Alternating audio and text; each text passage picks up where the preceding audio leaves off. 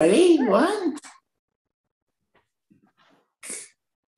Come on, got it. There we go. Good and good morning, everyone. Welcome back to the Faces for Autism Streaming with Love Telethon. I'm Jacob Hackett. Isabel's joining me for this interview today because we have a very special guest joining us this morning. She is here she is, Miss New Jersey, Alyssa Sullivan. Hi, guys. Thanks for having me. Jacob, thank you for that beautiful intro. That's one of the best intros I think I've I've ever received. So thank you guys for having me. I'm excited to be back. Okay, Alyssa, I'll I'll start. You were my co-host last year. Sadly, you couldn't co-host with me this year, but that's okay. I know. And Miss Outstanding Team this year. Uh, first question: Tell tell the uh, viewing audience tonight your your uh, start, your work with the special needs community. Absolutely. So, for me, one of the uh, reasons that we connected is through my love for that and through my work with the Precious Gem mentoring program. So, long before I ever became Miss New Jersey, my mom and I, and a few people in the Miss New Jersey organization, started the Precious Gem mentoring program, which was meant to be a special needs mentoring program for girls to come and really sort of have their Miss America moment. They're mentored by a girl that they get to really develop a relationship with. And and really, the want for all of that came from my mom being a special needs teacher for so many years and me being so passionate about working with kids with special needs. So it's something I'm really passionate about. So sad that we haven't been able to do it in the past few years because of COVID, but you know, we want to keep all of the all of the girls safe. But it's really very, very special and it's something that's very close to my heart. And the girl that I mentor, Caitlin, we grew up together. We went to high school together. We danced together from the time we were babies, and we are still friends to this day. So it's exciting to sort of see see those friendships flourish and those relationships last. So that's something I'm I'm really proud of. Isabel, do you have any? I'll have you asked the next question. Well, I'll I'll do a follow up. How is that? Uh, you mentioned Caitlin, and we have watched Caitlin blossom and grow. She's probably going to be watching the telethon. She might have a yeah. shout out for us. Yeah. Uh, I do know that um, because I was one of the volunteers very in the very beginning of the Precious Gem pageant, and my daughter came with me. And my daughter has a twin brother who has autism; she does not. And we cried the entire time. So, ex- could you explain a little about it for people? Because all I ha- probably have some videos I can post later, but it yes. is just an unbelievable experience, not only for the participants, but for the people in the audience. Absolutely. I always say when pe- when people talk about this event, they always explain it as saying there's not a dry eye in the house, and it's true. Bring your tissues, buy the whole drugstore out of Kleenex because you're going to need them if you're coming to this event. I remember the first year that we did it, that a little girl, you know, we always make sure that every girl gets a crown, you know, everybody has their moment. And one of the girls got the crown placed on her head and she shouted out into the audience and she was like, Dad, I'm so pretty right now. And we were just like, oh my gosh. Like, you know, for so many of us, the women who are mentors, we're title holders in the Miss America organization. So for us, like that's like an everyday occurrence for us to be a part of this.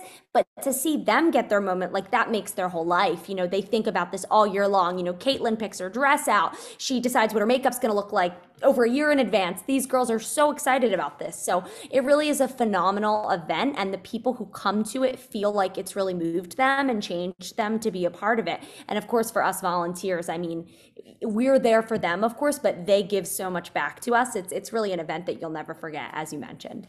Absolutely. And and one of the the aspects of it is, as you just said, that that the young lady who was up there saying, Dad, I'm so pretty traditionally people don't tie together when you hear disabled you immediately think okay well they're not going to have an opportunity to showcase their beauty we um, we all have an inner beauty obviously um, sometimes when you see somebody who is not recognized for this in that specific type of an event it, it's just extra special because I remember some of these girls, and I've watched them grow up over the years. And um, Isabella D'Alessandro was in one of the Yeah. pageants. Uh-huh. And Izzy is one of those people who has blossomed and grown through the process. I remember when they had the Miss New Jersey um, parade on the Ocean City Boardwalk, and we would go and represent, and we would bring a bunch of the girls. And I know a lot of them rode in, and people don't believe me when I tell these things. They rode in convertibles and waved, and Yeah. It's beautiful It, experience. it really it really is so beautiful and and again it's so sad that we've had to postpone it the last couple of years but again even if that event you know had already occur only occurred for a couple of years which of course we plan to continue it on the impact that that has made for some of these young women you know it's gonna last forever and it's changed them as you've said. We've seen them blossom and come out of their shell and it's just it's extraordinary. It really is so extraordinary. So it's exciting. So that's something i'm really excited to to get back to doing now that hopefully we're nearing the end of of the pandemic as we would call the endemic. Well, that's a good idea. I like that terminology. yeah. Yeah, that's a, that's a very good um, um, and that way to uh, put it, Alyssa, Absolutely. because we're in, we know COVID will not go isn't going away, absolutely but now it's turning into uh, a flu, where you get it once a year. Nine or ten months out of the year, you're able to live an almost normal life. And for sure I remember when we were having the last time I saw you before COVID, I was with, yeah, I was with you. I was with you. We were in Dante Hall together, and you said to me, yeah I want you to host my precious gem. And I said, You got me, just uh, text me when you want me. And COVID hit, and I thought, Ah, darn it, I can't host my precious gem this year. But I then, know. but then it was like, because we didn't see each other, saw nobody for for a long time. you Right. know? In the beginning of COVID, will will forever be ingrained in my memory because Isabel remembers this. I I had something happen to me right in the beginning of COVID, and I thought, Yeah. no, I'm not. I'm not having something major done right in the beginning of the pandemic. But right sadly, tomorrow is two two years from it, and you know, I'm happy that we're able to get back to almost normal in an endemic phase. Me too, absolutely. I'm glad we're we're coming out coming out of it uh, in a positive way. I, I want, because this ties right into what you do. Can you tell our listeners Yeah. or viewers what you do for a living now? I mean, you could walk around for the rest of your life as Miss New Jersey. Um, however, there are other things to do on the earth. So tell us about your gifts. Yeah, so it's funny because as I was sitting at a local competition the other night, I was in the seats and I thought to myself, you know, I keep doing the countdown to how many days, how many months I have left as Miss New Jersey, but there reaches a point where it finally hits for you that it's getting ready to come to an end. And you know, for me, I competed for Miss New Jersey for six years, so just getting that opportunity was like the greatest gift and blessing I could ever ask for. So I really treasure that. You know, a lot of people don't understand that Miss New Jersey is a job. So just as much as I do my other jobs, I'm doing that and it's something that I really pour into. But when I'm not being Miss New Jersey, I uh, have my reporter hat on and I work at PHL 17 as a feature reporter there. And they've been really wonderful with allowing me to balance my schedule and kind of pull back and, you know, be there when I can to really still get to fulfill my dream of being Miss New Jersey. So, one of the things I've always loved about Miss America, especially as we've rebranded in recent years, is to really push the fact that these are working women who are driving forces for change in the community. And it was always sort of thought of in my mind that, oh, if I win Miss New Jersey, I have to halt the rest of my life for a year.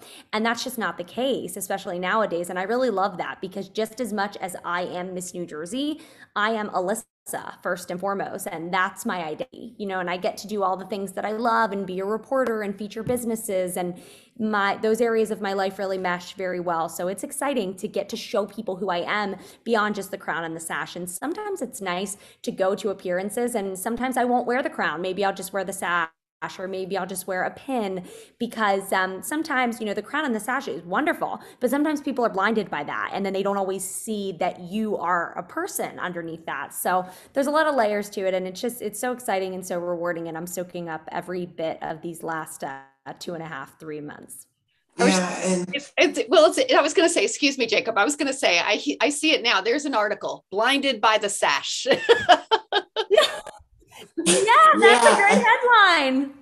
yeah, that's a great headline. And I mean, Alyssa, as I said before we started, I was one of the lucky ones to be there the night you were crowned. And I mean, it's just one of the, I remember I'm, I'm going out of the resorts and I said to my mom, you know, my grandmother was a Miss America hostess for 35 wonderful, blissful years. And I thought, you know, seeing a friend win Miss New Jersey is bringing a piece of my childhood back. Oh, that's so sweet. I and I I love that and especially for for our friendship and us coming together as friends, but really too that, you know, us living in New Jersey and in Atlantic City, we're so lucky to be so close to a part of that history. And it's been really exciting since Miss New Jersey has moved to Atlantic City in the past few years. Even though Miss America was not in Atlantic City this year, I kind of felt like I got that Miss America moment being crowned in Atlantic City. And that was really so special. And, you know, people talk about that night of me becoming Miss New Jersey and, you know, say it'll be one they'll never forget. And certainly for me as well. I mean, it's just a blur, but just sheer excitement and gratitude. And, you know, in my mind, if I had come to really accept that whatever was meant to be was going to happen. And if I wasn't Miss New Jersey, I felt like I had accepted that. But, you know, it was just so, so wonderful that it happened. And, and I feel just grateful for that. Yeah, and and you know, I said it I said it to Isabella Freund, who was my co-host uh, during the eight o'clock hour for those of you that watched it. You know, I've never taken an opportunity for granted. I've never said, oh, one day I'll be friends with Miss New Jersey, get to work with the MAO. No, I've taken every opportunity that's come come staring right at me and taking every little bit for granted. So from me to Isabel to all the others that were were able to take part in your year this year, it's been an honor and a pleasure. Oh, thank you so much. That means so much to me. Um, who, uh, last que- well, well, uh, next question. Um, so tell us about your social impact initiative. Absolutely. So, my social impact initiative is called Peer Challenge Commit to Character, and it deals with speaking to New Jersey youth about risk taking behaviors. That's anything from bullying to drinking to drugs to cyberbullying uh, to teen pregnancy. And I'm so passionate about it because this is something I've been advocating for for over 10 years. So I've been able to take this initiative to the New Jersey House of Representatives, speak on the House floor, to the Senate. It's been just so rewarding. To me, this all started because I was a high school student who felt that we weren't getting enough character education curriculum. And I really always you know was raised by my family to believe that you know it's not uh, there's nothing wrong with making the right choices just because maybe the crowd isn't doing it. Um, and that always really stuck with me. And so i really felt like it was my duty. And then once i became a part of the miss america organization i really even had more of a platform to promote that. So i've been able to travel to tons of new jersey and speak to kids about character education and, and to educators as well and to really just try to pave the way you know to continue to educate them and, and not just think that teens don't want to make the right decisions. Um, so it's something that I'm, I'm really proud of and passionate about. Yeah, and and I and I've had one of my alma maters has reached reached out to me at Seacon Public Schools and said to me, I see Miss New Jersey's uh, social impact is peer challenge. Could you get her for us? I said, I, I can do my darndest and try, but I, I will, I will, uh, I will give you the email and you have to set it up because I don't want people confusing what what I'm doing. If I if I ask for you to come to the field, I don't want them confusing what I'm I'm doing as a conflict of interest to somebody else. Well, the great thing is about, you know, when you meet people and you network and you connect with people, it's great because it creates more opportunities and you connect people. So, so that's sweet. So, always love an opportunity, you know, or a privilege to be able to go in into a school. So, that to me, I view that as something that is an honor and to be able to go in and speak to people's children and, you know, as we always say, mold young minds. Um, that's just very important to me and, and something that I'll always be passionate about, even after I'm Miss New Jersey. So that's beautiful. Isabel, do you have, have any, well, another sure. question? Well, I can relate it to, we could start small and then go globally. Um, the Miss New Jersey um, history, I'm sure you know all about. Um, but I love that you talked about the origins being in Atlantic City. My dad was from this area growing up, and oh, he he is passed now. But his favorite childhood memory, his mom used to take him on the boardwalk and um, he was born in 1935 so let's say it was like 1939 something like that 38 mm-hmm. 39 walking on the boardwalk it was his birthday september 15th okay. So at that time all of the the contestants stayed in one hotel maybe i don't know the marlborough blenheim or something or other. So i don't really know mm-hmm. which one it was. My dad told me the story that he was walking with his mom, and all of these women started walking out of the hotel. And he said, and all of a sudden they said, Oh, look at this cute little boy. And every single contestant kissed him. So, no. Oh, wow. so sweet. So that's says, so cute. It's like, like, yeah, he says he lived a charmed life. like, it's like, yeah, like it's like memories like that. Like, and Miss America always said to us, you know, when we were in Connecticut, they say, you know, we're just people people view the miss america candidates as being these extraterrestrial beings you know like they're not like real and you know everybody puts them on this pedestal which is totally okay because in a sense because that's part of tradition right like miss america is a healer she she makes an impact on people but then you know you really have to view the great responsibility with it that for you, you're seeing people every day, but that may be the first time that someone ever meets a Miss America candidate or a Miss New Jersey or somebody else. And it's always your responsibility to affect them in a positive way and to make them feel that they matter and that you remember them. And so like for your dad, like that will stick with, you know, stuck with him forever. And it's moments like that that seem so small to you but make such a difference for somebody else. And that's just really so important and you know you have one year to make a difference and to make an impact and you know living where we do in new jersey we are so attached to miss america and in so many good ways and you know as a kid my mom used to take me to the atlantic city boardwalk and we would see the show us your shoes parade and you know even being a part of it now i don't know that it's ever truly hit me you know that that that is me. I think one day it will but um, it certainly goes fast as it has. And and I know that um, you know when I pass the crown on the week of June twentieth, that I won't have any regrets, and that I'll know that you know I lived it doing everything that I wanted to do. You know, surrounded by the people who have really supported me, and you know it's bittersweet. You know to be to be able to pass it on, but you know the end of a of a beautiful chapter for me. Absolutely. And it's changed over the years, the meaning behind it. However, it grows with our generations. And um, one of Absolutely. my, my, my personal memory is that, um, well, growing up watching it on television as a child, but in the 80s, I worked in the casino industry and the beautiful hotels there. We all, each, uh, each hotel got five contestants, I believe it was something like that, or 10. Right.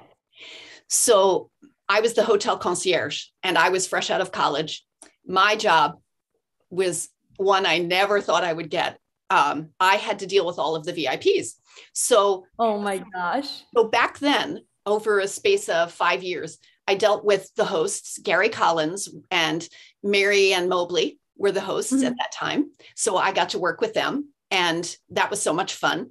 Then um, at one point, it was Kathie Lee Gifford, but before it was Yes. Kathie Lee Gifford, I had Regis and Kathie Lee, and I got to work with them. And I remember her coming in, and it was the day Frank Gifford, day after he proposed to her, and they were in the lobby with me.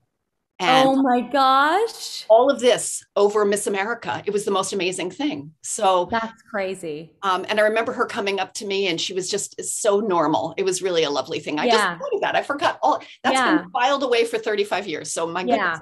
But, it's like uh, and it's it's those like normal it's those instances, you know what I mean, that really that just really matter for people and you know. I, I have a fun I have a funny story. My grandmother, as I said, she was she was a Miss America hostess and she had a few Miss Americas over her time.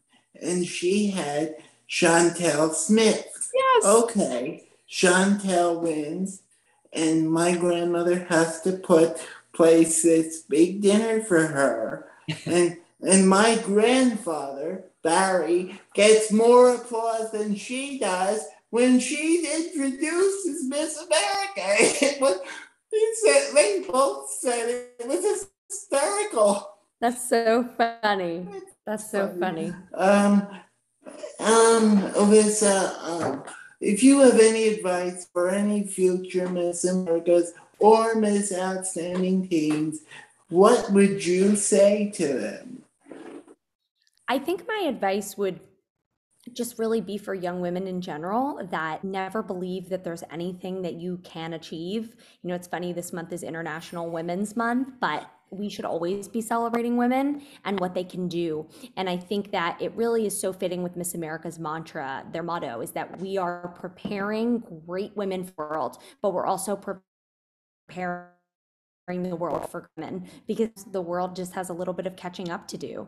So Miss America can change lives, whether you never become Miss New Jersey or Miss America and you just walk away with thousands in scholarship and you're able to graduate debt free and do wonderful things.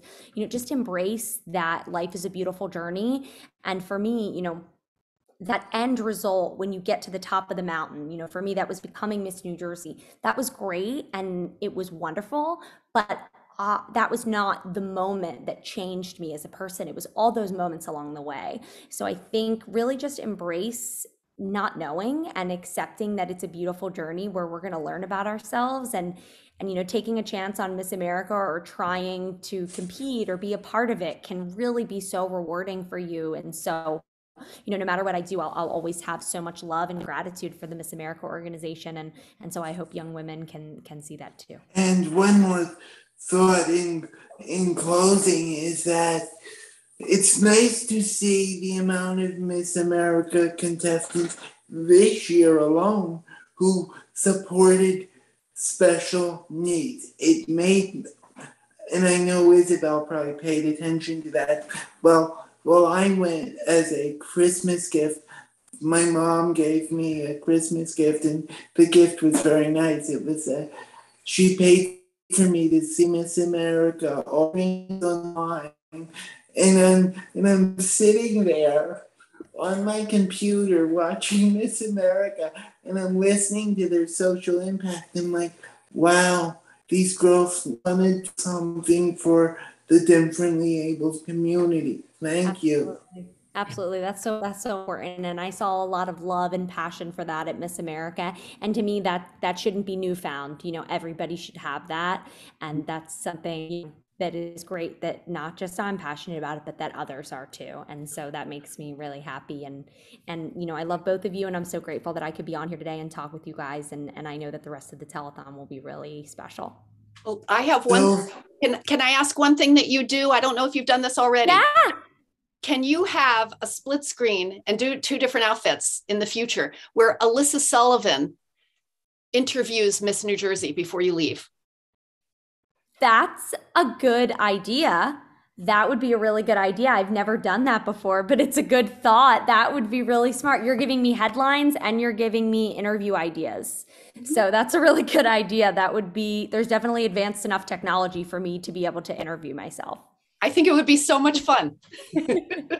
that, that's a very good idea, guys. I like that idea. Friends, uh, we have Miss New Jersey here. Please donate to Faces. We were able to raise $11,000 last year. We can only do better this year. Thankfully, the pandemic is reaching an endemic phase. Friends, please donate. Uh, these organizations, Miss New Jersey supported Faces. She's been a friend of Faces for a very long time. Please donate. Thank you.